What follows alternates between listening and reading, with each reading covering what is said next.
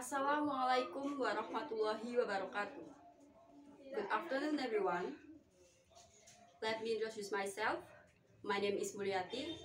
I'm from English language program. I'm in semester 2, class D. In this occasion, I will read the poetry.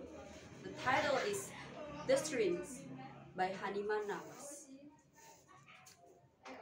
The note is strong. The strings are tight. It won't break loose, no matter how much I fight. The grip is fierce, disguised in every tear. I wish to overcome this emptiness of fear. I know once on my own, I might not survive, but there's is a mere chance for me to be alive. The cause of losing the bone could be my biggest mistake,